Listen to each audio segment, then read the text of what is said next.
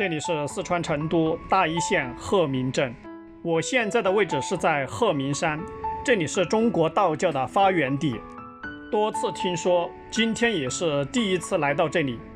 这座石牌坊进去，通过那座桥过去，那边就是鹤鸣山道教名山。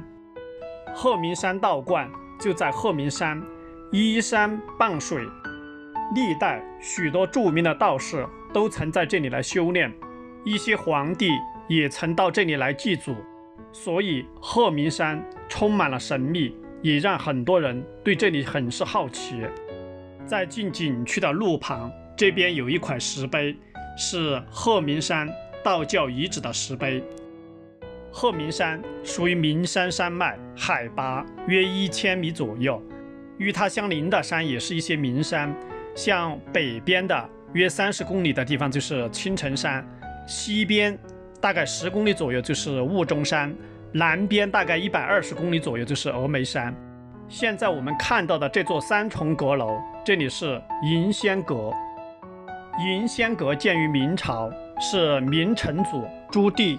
听说张三丰在鹤鸣山修道，就派人来这里礼请张三丰，但张三丰避而不见，也未见其踪影。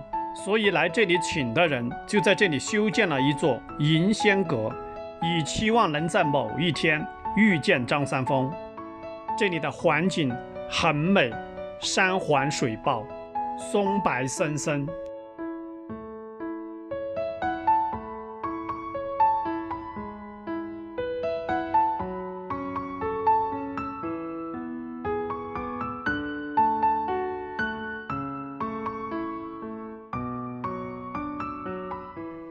古代寺庙道观的选址是很讲究的。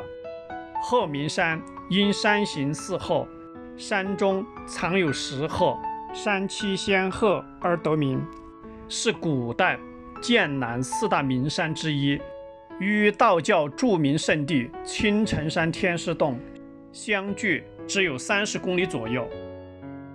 现在我们来到景区的第二重殿宇，这里叫。斗母殿，殿宇都是依山而建，一层比一层高。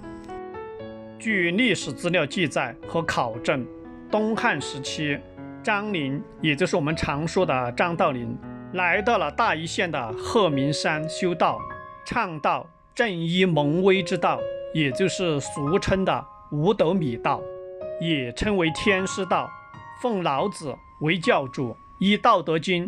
为主要的经典，这标志着道教的正式成立。鹤鸣山是举世公认的中国道教发源地，世界道教的朝圣地，故而这里被称为道国仙都、道教祖庭。现在我们来到了第三重殿宇，殿宇与四周的植被、周边的环境很是融合。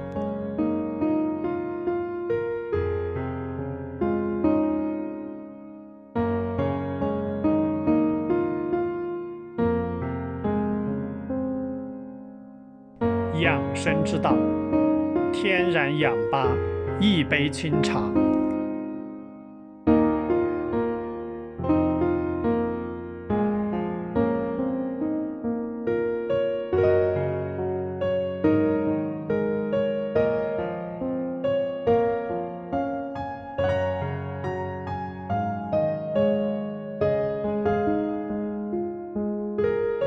在这里还有一间茶园。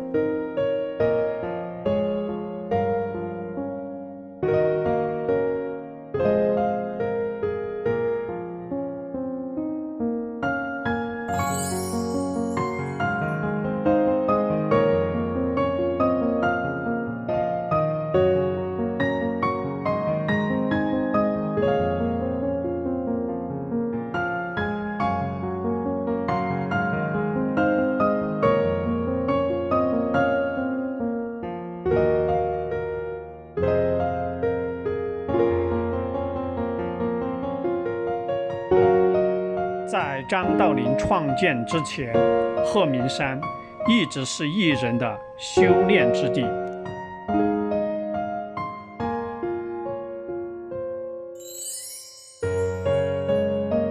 这里的殿宇居高临下气势恢宏。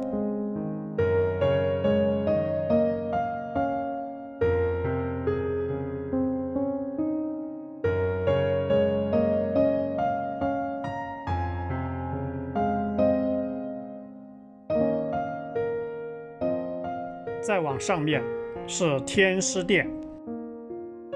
鹤鸣山古树众多，在这里面有一棵七百多年的古柏。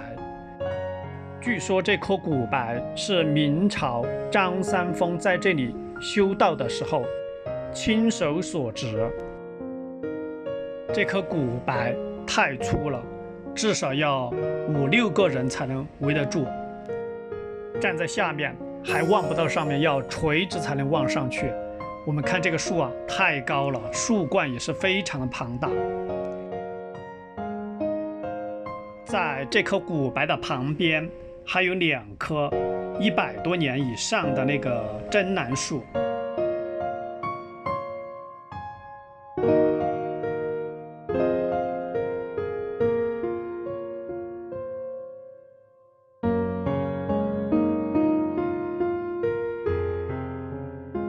鹤鸣山道观里面，我们不进去拍，主要就是看鹤鸣山的风景。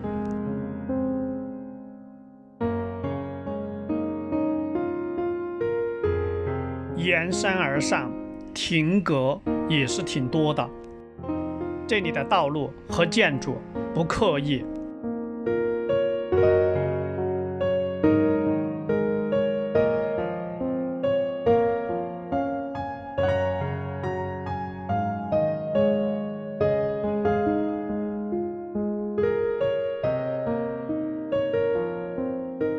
现在我们来到的这重殿宇叫天师殿。从这里望下去，下面的殿宇亭阁若隐若现。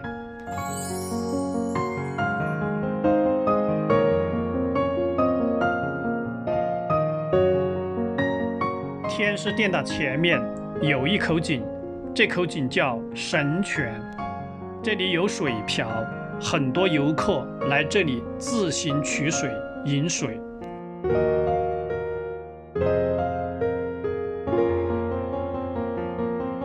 鹤鸣山象征图。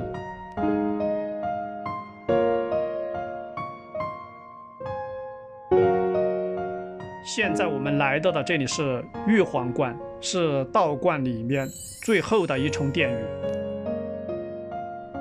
鹤鸣山在明代被嘉靖皇帝。预定为全国性启天永命大教的五大教坛之一。鹤鸣山左右群山环抱，远山重重叠叠，好似朝圣一般，所以这里又被称为朝山。玉皇观现在这里面在维修，没有对外开放。从这个位置看，太有气势了。鹤鸣山被称为道教发源地，在文物方面也有佐证。在这里的天国洞就曾发掘出了一通古碑，古碑的材质是石钟乳，表面呈蜂窝状，硬度极强。碑上镌刻有创始人张陵的名字，张辅汉、张道陵和张三丰都曾在那个洞里面修道。好。这个视频就介绍到这里，我们下期再见。